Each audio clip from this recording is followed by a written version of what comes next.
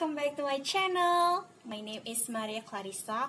I'm from English Literature A 2019 and now I'm going to discuss about euthanasia and I want to to tell you guys what my opinion about euthanasia is. But before we're but before that, don't forget to like, comment, and subscribe my channel and you can share to all your social media. And now let's move on to the discussion. We're gonna start from the definition euthanasia.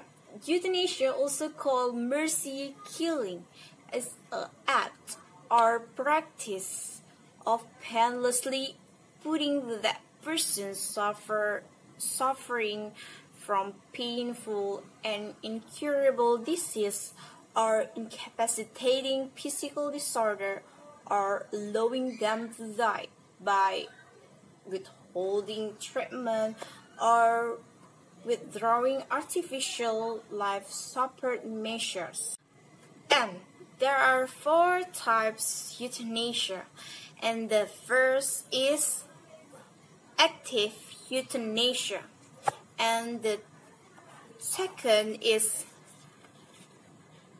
passive euthanasia, and the third is indirect euthanasia, and the last is patient assisted suicide. And I want to tell you a little explanation uh, from the four main types of euthanasia. And the first is active euthanasia. Active euthanasia involves the direct administration of a little, lethal substance to the patient by another party with merciful intent. The second is passive euthanasia.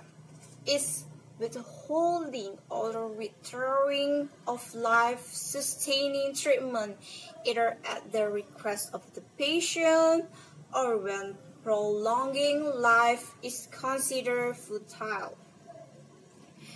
In direct euthanasia refers to the prescription of painkillers that may be fatal in an attempt to relieve suffering. Patient assisted suicide is refers to a medical professional aiding patient in terminating their life upon the patient's request. After I tell you the definitions of euthanasia and the four types of euthanasia, I want to tell you guys that I don't agree. For those who are choosing or take decision to do euthanasia for someone's life. Because our lives is very precious. And it's from God.